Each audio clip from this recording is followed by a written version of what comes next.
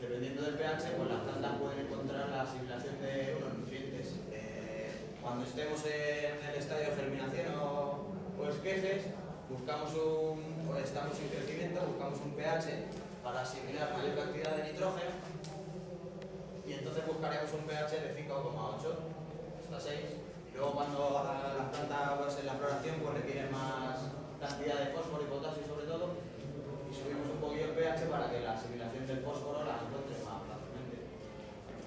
Y más o menos en, esa variación de pH encontraría los demás micronutrientes. Eh, los métodos de cultivo pues, pueden ser el suelo, eh, en lo que buscaremos los aportes que necesita la planta de nutrientes, también necesitamos un suelo que sea retentor de agua y de humedad y un suelo que, pueda drenar toda esa agua y sobrante. Los nutrientes se pueden encontrar en cualquier compost, el humus o desecho de que haya compostado en la naturaleza. Los retentores, pues tenemos ahí un ejemplo de turba, coco, arena y aireadores, pues igual, la verdita, la arena del río puede hacer una mezcla que sea bastante aireosa si metemos la mano y entra bien la mano, pues vemos que, no es una mezcla astillosa que, se, que cuesta meter la mano. Y eso le daría una aireación a las raíces para que asimile los nutrientes y el aire, que también hace que, que respire la planta y crezca más rápido. Luego también podemos encontrar métodos de cultivo hidropónicos que no tendrían en la asimilación de nutrientes, no la, se la daríamos a la tierra, eh, a las plantas por la tierra, sino por el agua, de ahí el nombre, y se busca que las raíces estén eh, eh, protegidas de la luz y a la vez sustenten a la planta. Entonces, en estos métodos, las raíces, como vemos, no sujetan a las plantas. la, la sujeción de la planta se busca foránea, se ponen unos palos o el método del scrop, porque las raíces eh, absorben la misma cantidad de aire de nutrientes que estamos eh, asimilando.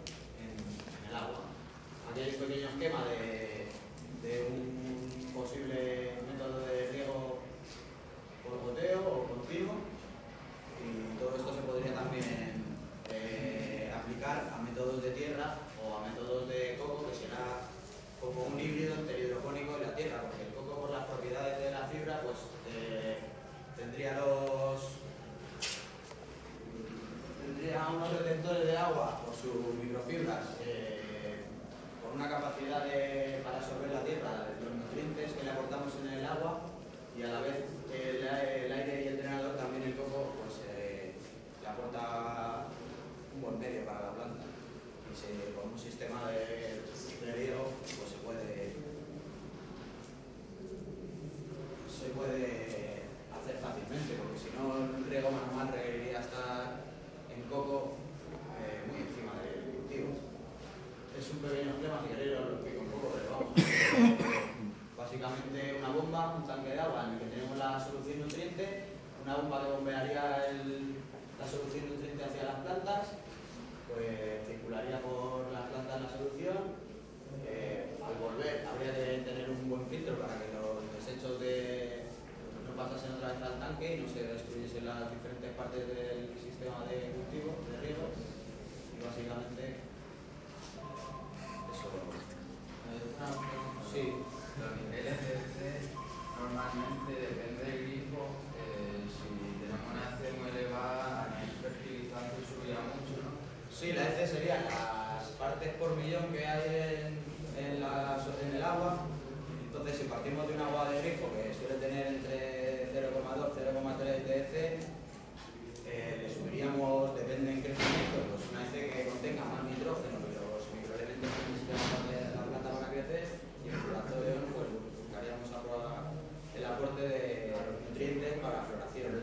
sale la EC, por ejemplo, es que yo me sale la EC bastante elevada, sería un, filtro de osmosis, ¿no? Para bajarla.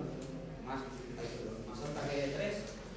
Eh, no, digo que eh, para bajar la EC que sale el grifo... Sí, para bajar la EC se puede poner un filtro de osmosis o se puede utilizar agua destilada que viene con ese pero que prácticamente es un agua que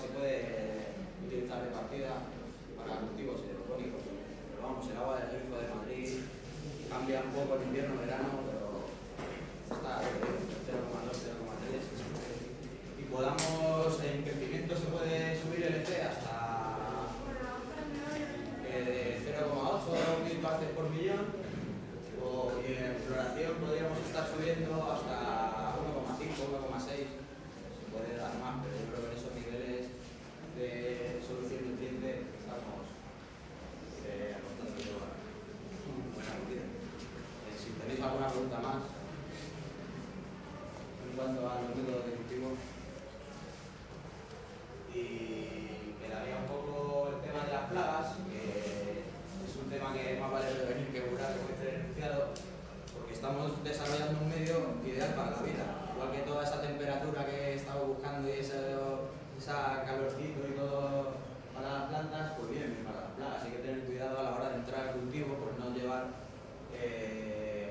patológicos de fuera si estamos en el campo y entramos al cultivo, por no llevar un montón de esporas y, bichillos que el cultivo van a encontrar en un medio. Igual que si nos prestan esquejes, tenemos que mirar muy bien la procedencia de los esquejes y hacerles un poco un mayor preventivo en algún producto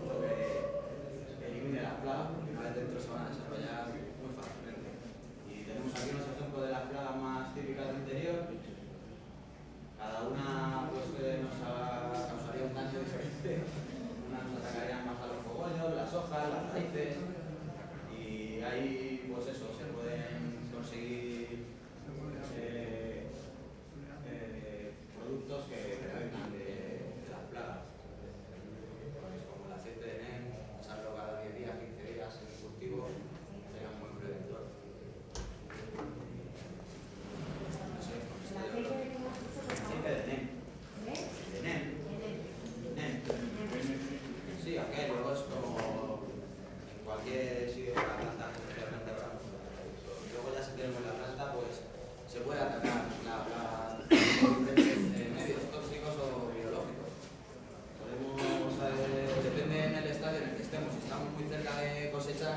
no nos interesa echar ahí un producto tóxico que luego vamos a consumir.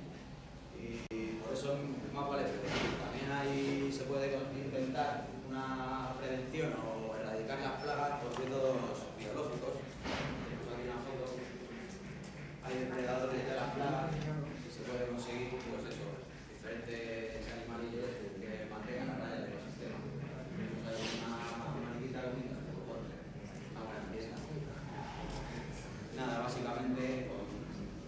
poco no tienen esto se consigue una marihuana de calidad y mm. barata. ¿Tenéis alguna pregunta más? Yo creo que la charla da un